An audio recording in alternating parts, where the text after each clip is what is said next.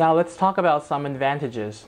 Since it's an independent device, all you need for recording a video, the hardware software is all built in here. All you have to do is connect it to the system.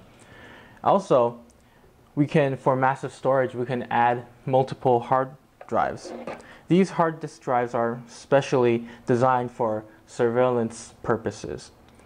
These hard drives have longer lifespans and they have adjusted the power consumption.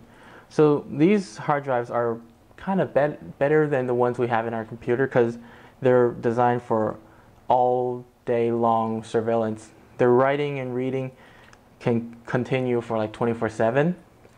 And say if we don't want to use an NVR to record our video, we're going to have to use, say, like a personal computer. If we keep our computer on for 24 7, uh, the hardware kind of will be over, overpowering, overload. It, it will kind of cut their life expansions. So an NVR, it can like minimum our, our total power usage and also do all the read and write for the 24-7. Also in NVR, we can connect it with like a screen via through like a VGA cable or HDMI cable and we can then watch the video feed live on the screen right here. Now I'm going to set up a whole IP camera system and let you guys see how we connect the NVR to our PoE switch. First, just I'll tell you guys how to install a hard disk drive to the NVR system. Once you've used a screwdriver to remove all the bolts, you just simply open the lid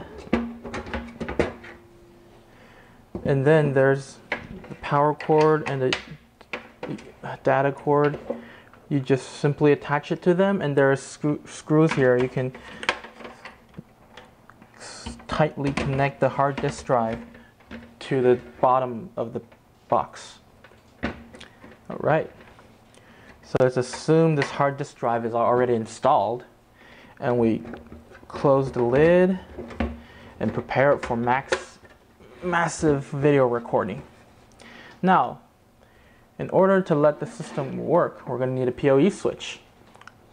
You guys should be familiar with this. If not, the PoE switch can power the IP camera with its PoE ports right here and connect with the NVR with the uplink, upload link here.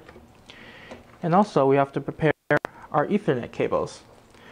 One will go to the camera and PoE switch, one will go to the PoE switch and the NVR. Let me do the connections.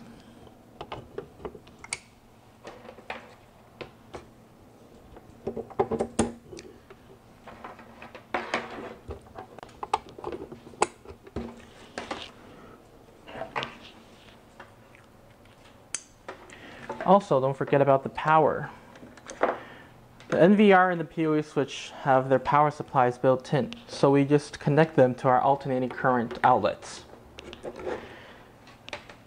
And once they're all plugged in, the power should be running through the whole system.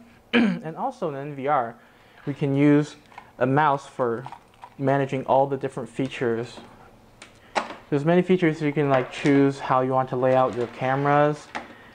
Um, you can choose a specific image you want to maximize screens. There's USB ports here to, to insert our mouse and don't forget, we, if we want to watch it off a screen, we'll need a VGA or HDMI cord. Now that was the sound of the system running. Okay? Now you can see a blurry image on our screen. That is the camera initially running and now it has self-focused to the clock and zooming in until it's steady. Okay, you can see on the screen right here, the clock is ticking, so it's like a live feed from the camera. Alright, it seems the system is working, so that's pretty much it for today's video. Thank you guys for watching. Please leave your questions and comments on the section below. I'll see you guys next time. Goodbye.